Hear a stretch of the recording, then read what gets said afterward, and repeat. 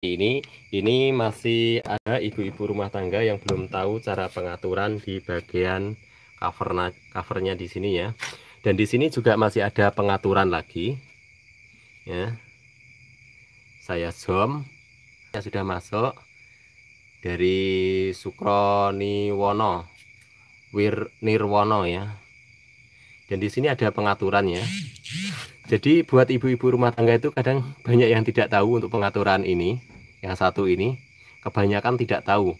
Kalau kulkas kurang dingin biasanya di fullkan seperti ini teman-teman ya di fullkan di sini bawah kurang dingin di fullkan seperti ini.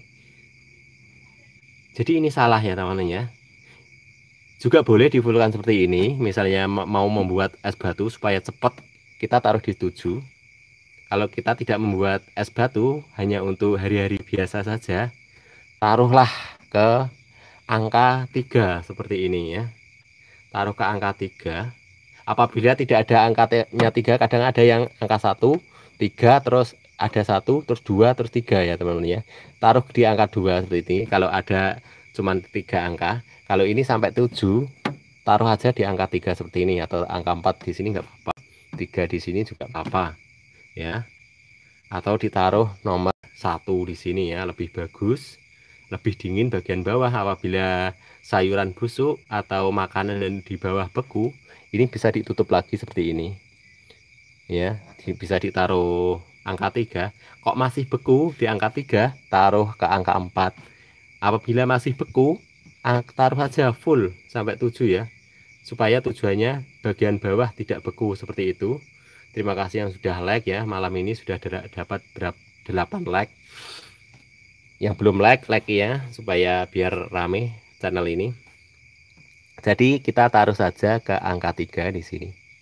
Ya, untuk normalkan. Apabila membuat es batu ya taruh aja 7. Apabila tidak membuat es batu, taruh saja di angka 3 seperti ini. Ya, cara pengaturannya seperti itu. Dan untuk yang di bawah, di bawah ini adalah untuk mengatur suhu atas bawah teman-teman ya. Jadi untuk mengatur suhu keseluruhannya jadi ini bisa dibulkan juga setengah segini juga bisa. Misalnya di sini juga bisa. Oh enggak kelihatan ya saya zoom. Saya ulang lagi. Saya tidak memperhatikan kamera. Terima kasih yang sudah hadir di malam hari ini dari Sukonirwono. Ini kok zoomnya tidak bisa di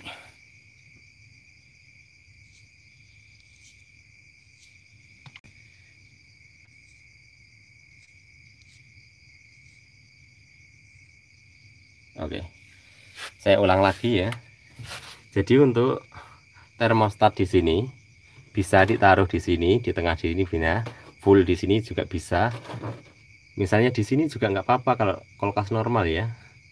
Misalnya untuk normalnya ya di sini saja. Taruh di medium di sini saja. Jangan di fullkan atau jangan dikurangi seperti ini ya. Normalnya di sini ya.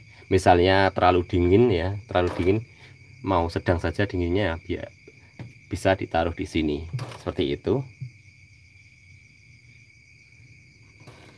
Dan kita taruh saja di sini ya normal. Seperti itu.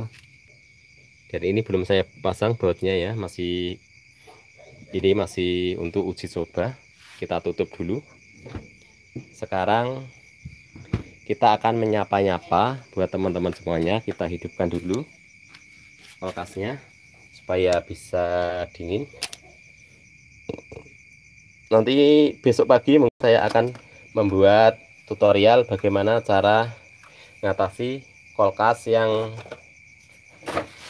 tidak dingin ya. Nanti mau saya share. Alhamdulillah di malam hari ini semakin banyak penonton saya. Dan terima kasih saya akan single-single buat teman-teman yang sudah masuk yang sudah komen di bawah untuk perbaikan hari ini sudah selesai ya. Perhatikan setelah saya pasang kapasitor dan mau saya bagikan lagi ini